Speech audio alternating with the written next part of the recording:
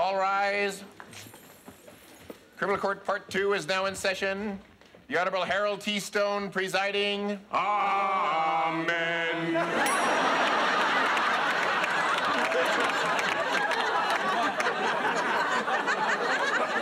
What the hell was that? Oh, Amen, sir. It's a word you hear just after deliver us from evil and just before pass the Brussels sprouts. I know that.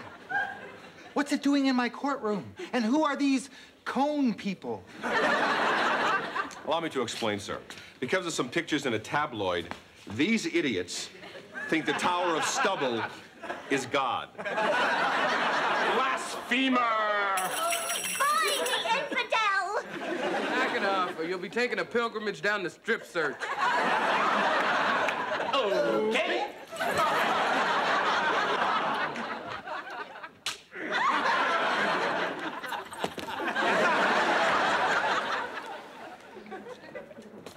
Jack. You're a doll. Jack, my good man. I'm thinking of expanding my reading horizons with some popular magazines of the day.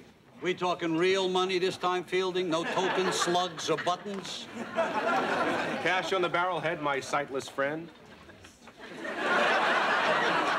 So many choices. Oh, say, what did the lady just buy? Well, let me see.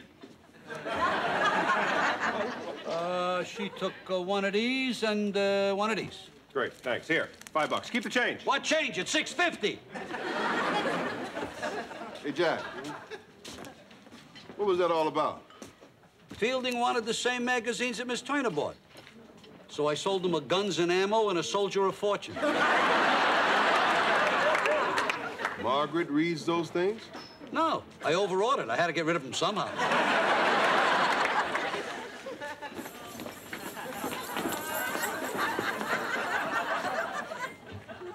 Can't get away from these people. They're driving me crazy. Bull, you gotta confront them. Be honest. Tell them you're not who they think you are.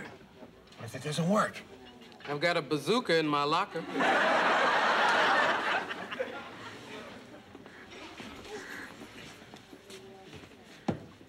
Look, I'm just an ordinary man. I can't perform miracles. I can't part the Red Sea. I can't cure the blind. Watch this. How many fingers, Jack? I don't know, four? Hallelujah!